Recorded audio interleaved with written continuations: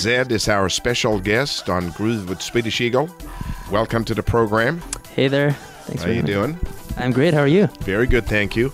So I've heard you speak a little bit as I uh, we're, we're in the studio. You're in the studio with Porter Robinson. I heard you speak a little bit, and you speak fluent English, but you are from Germany, aren't Thank you? Thank you. I am. Yeah. Actually, my uh, I improved my English by being in the studio a lot because uh, when I have a question, I hear the answer and then I soak everything up and try to lose my accent. So yeah. Flawless. How long Thank have you. you. been here in America? Uh, I came to America the first time in March uh, 2011, which was yeah. About a year ago. Yeah, pretty much. Wow. And uh, You Yeah. spoke English before you came. I did. I mean, I learned English in uh, school, and I paid attention because I kind of knew it would be probably ex- Uh. important in my career. Um, but besides that, I really started learning English and like just speaking English uh, when I got here a year ago. So you moved to America now? Not really. I mean, I, I don't know where I live. I technically still live in Germany, but uh, I've not been home this year, and uh, I'm not coming back home till like June or July. So you know, I more live on the road than I live anywhere else. Oh, okay. How do you like it here in Santa Monica, California? I, I love Santa Monica. I love LA, and uh, I eventually will probably get a place here at some point because I spend a lot of time here, and um, yeah, I really love it. The weather is amazing. Uh, you know, you wake up and the sun is shining, you just feel better, or I at least feel better. yeah, of course. So what city are you from in Germany? It's Kaiserslautern. It's a small city, and uh, yeah, I, I live literally in the forest. Okay. it's the opposite of here. Is there an EDM scene there? Um, it's a good question. There, I mean, there's obviously electronic music everywhere, but uh, the um, the EDM scene is a little different in Germany than it is here, and uh, the songs that get big in the states, they get big here first. It takes a little while for them to get to Germany. So, after I was playing a tour with uh, Skrillex and then Deadmau5, and I came back to Germany and played a show, and I played all those songs that I you know, was playing in the States and I just was so used to everyone knowing the songs, like even my own remixes, I was just used like turn on the fader, wanted to have everyone sing and like, oh shit. like maybe they do not know all this old stuff. I learned a little bit from that. It takes a while.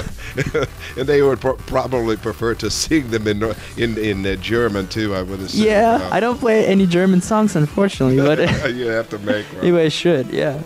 So um, I don't play very much dubstep, but I wanted to thank you for helping me get into Skrillex because I, you know I like his music very much. I play some of his remixes and some of his original songs, but like Scary Monster and Breaking a Sweat, you did remixes of them that made it easy for me to play those songs, and they Oh wow, still thank you very much. very very good. So so uh, how did you first start out working with Skrillex? Um, how it all started, um, it was actually a really random day where uh, I saw Deadmau5 posting something about this guy named Skrillex, and uh, I was working on a song, and um, I checked this link out that Deadmau5 posted, and it was a remix he did for Lady Gaga. And I listened to it and I was like, wow, that's actually pretty similar to the song I'm working right now. And I was like, I was so happy about the song. So I just sent him a MySpace message saying, and I'm really critical to music. Some people say I'm a hater, but I'm really not. I I would consider myself a lover because whatever I love, I truly love and respect. Uh, but I'm really critical, and um, I thought he was really, really good and ahead of a lot of the whole scene. So I sent him a link saying, hey, like just what I told you, and uh, you should check out my music. You might like it, and just send him one song. And he replied like five minutes later because just by accident he was just checking his MySpace messages after months, and mine popped up first because I wrote last. So uh, he checked that song and wrote back that he had a show that evening and he wanted to have that song right now. And yeah, I sent it to him and, And uh, what then- song was that? that was my remix of this year, a song that never got, never really got attention because when I released that, I was really unknown and I barely had followers and fans. And he, like, labels did not really believe in me. And he was like the first one. Was like, you have to do a remix for me. We have to work together. And then I made weekends. Then I made Scary Monsters for him, and um, the last one was Breaking a Sweat. And so he was a, a really early supporter of my music.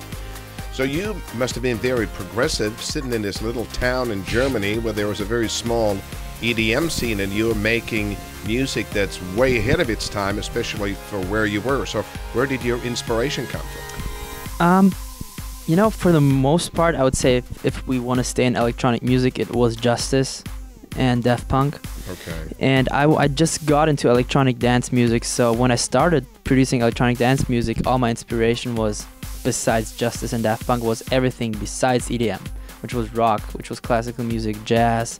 Like that's what I grew up with. And um, so I took all of those elements that I knew from those. Like I knew how to write rock songs because I did that for years. You know, Mhm. it's not just about having a beat; it's about having a song, a structure, and Right. a melody and a chord progression. So that kind of became my game. You know, like today, I just I still I'm addicted to interesting chord progressions, like melodies that others probably would not do. Uh, and I still love drops, like they call them, and you know, Right. hard electronic music. But yeah, my inspiration was a lot of Shave different it, kinds. shave it, shave it, and it up. Love that. Uh, and uh, and and uh, what's the other one? Don't slam that fucking door. That's right. Yeah.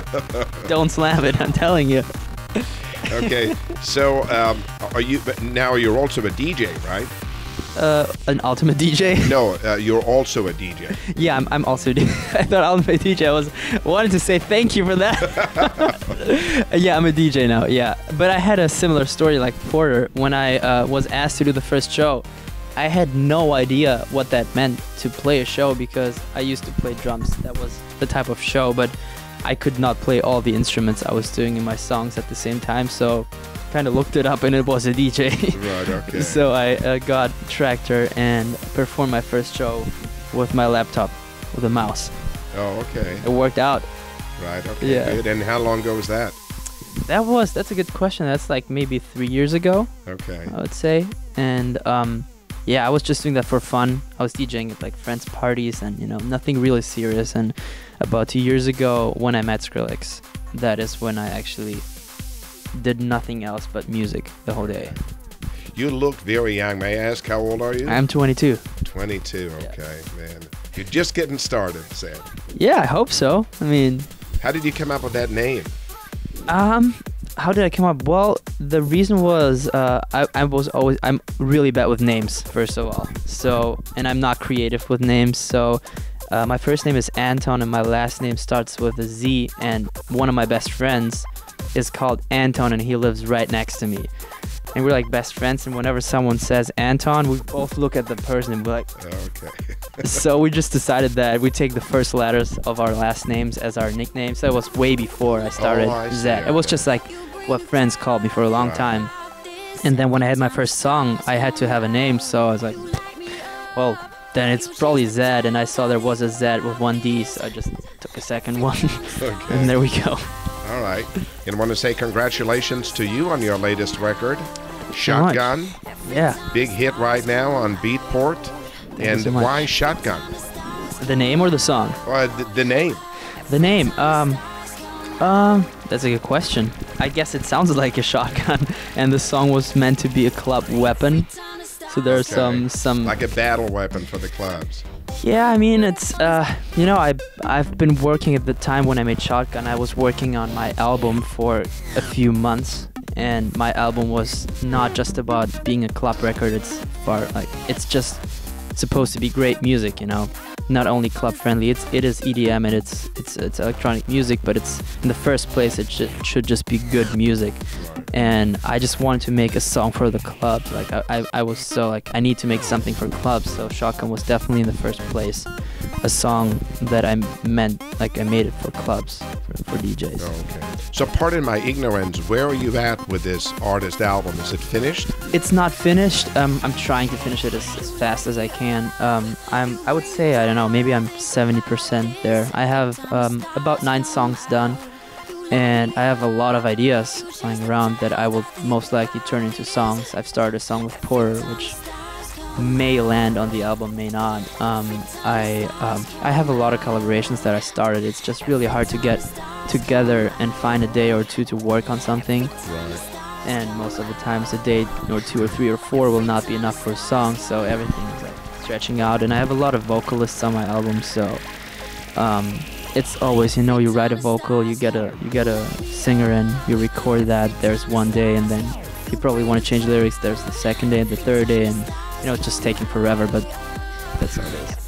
Are there any of those uh, collaborations or people that you've collaborated with or singers that we may know who they are? Uh, maybe I, I don't really want to um, spoil too much. There's a song that kind of I've been playing it out and um, it, it did not get leaked, but um, people know about it. It's a song I did with Lucky Date and Ellie Goulding. Um, she's one of the vocalists, and uh, yeah, it's a it's a great song. It's a great mix of a club record and a good song. Now, and I heard that you're working with Infected Mushroom. Is that right? That's right. Yeah, we did a song together, and uh, it's not 100% finished yet. And um, yeah, I don't want to lose too much detail on what it's going to be, how it's going to be. Is it going to be on their forthcoming album? Uh, we'll see. I actually don't know about that. Okay. Um, but uh, I know that the song is. Uh, it's one of my favorite songs I've ever done, oh, okay. or we've done in this case. Okay. You've remixed one of my favorite songs, Witch Doctor, I, from Armand oh, wow. Helden. How did that come about? That was the first remix I've actually ever done in my life. Uh, it came up, um, it was a Beatport remix contest, and I've been following those remix contests for a while, and I decided I have to participate in one and I did like two or three in a row, and then I just promised the next one is it, no matter what the song is. And I'll be honest, I didn't know Witch Doctor. I did not know the song. Oh, okay. And I just took the stems and made my own song out of that. Yeah, you yeah. did a great job, man. I've been thank you so much. I like that very much. Thank you a lot. Uh, that's been a big. That's like a a club anthem, it was the first, the first thing I've ever like that. Really? That opened a lot of doors for me. Oh, okay. I've posted this remix, and then my first remix requests came in like after I posted that one. Okay. Um, I like another song of yours, "Stars Come Out." Thank you very much. Who sings on that song? It is Heather Bright. Okay. Um, she, I did another song with her, which will be on my album as well. Okay. And uh, yeah, she's she's amazing. It's yeah, great. Very good job. So there's a U.S. Army installation in your hometown. You're well informed. That's true. Yeah, it's actually literally right 20 minutes away from my home, and it's I think the biggest U military U.S. base in Germany and Europe. Oh, okay. I believe. And so, did that have any impact on you growing up? Do you ever see the not. Americans? Uh... I've been there. I've been sneaking in there a few times. what are you I'll, doing there? I buy peanut butter. I buy all those American goodies, and yeah, I loved it there. Like just the food was a paradise. root beer. We don't have root beer. Oh, okay. So that was a big thing I was looking forward to. Every time I sneaked in there, I was like, more root it's beer. Some American snacks from the army oh, base. beautiful. Thank God for America. I wish I was there earlier.